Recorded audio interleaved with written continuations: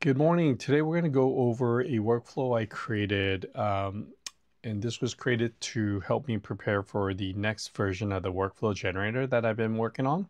And this workflow here, as you can see, is already published on N8N, um, and I'll put the link to it in the descriptions. But this allows you to take a Google Drive folder, as you place documents in there, you can have that automatically uploaded into the vector database so that you have a constant knowledge base of whatever you might be working on and that the AI agents you use it for will have that knowledge um, in, in generating the outputs that you want it to. So let's go into the details and I'll go over the steps inside the workflow.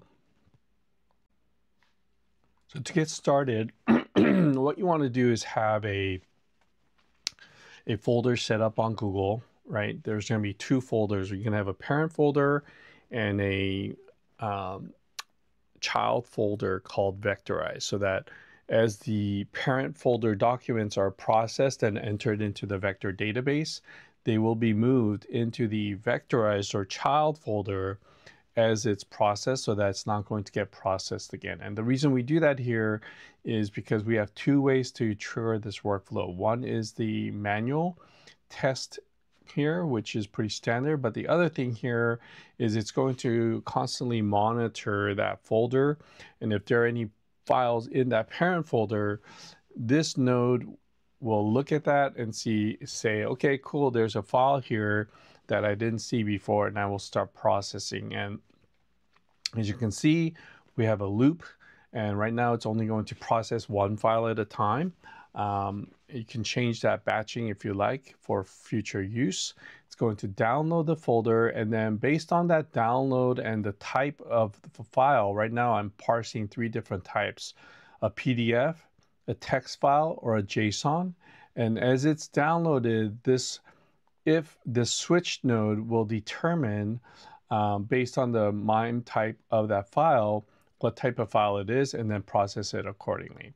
And then from here, once it's extracted, um, you know, here, so you can guys see there's really nothing much more than just this basic setting for the extraction. So we'll extract the data from these three types and then put that into the vector database here.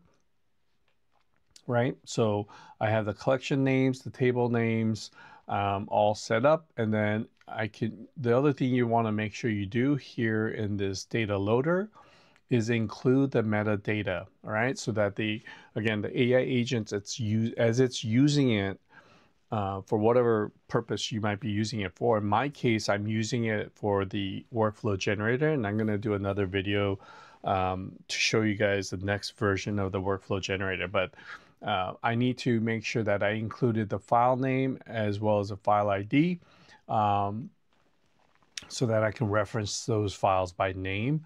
I also include this gold metadata where uh, for, and you'll see that in my next video, where by as telling the AI agent to look for the gold tier files, it'll give it a higher priority in searching for those that data within the vector database. So by default, I'm going to set it to false, but if I do have some files I want to have the AI agent give higher priority in search, I'll set that to true um, so that the metadata for that file as it's loaded is being properly indexed.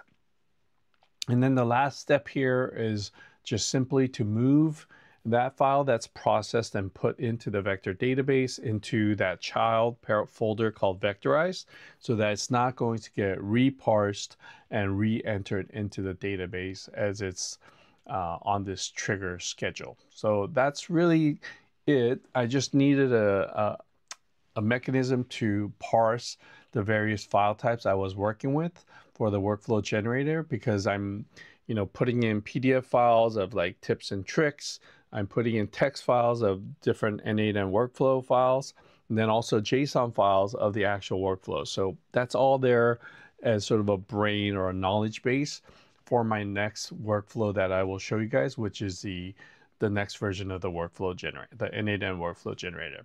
All right, hope this helps. Pretty straightforward, but uh, I did want to put this out there for you guys to be able to use. And again, this is on N8N uh, in the creators section or the workflows section as a uh, template you guys can use for free. All right. Let me know if you have any questions and I will see you in the next video. Thanks.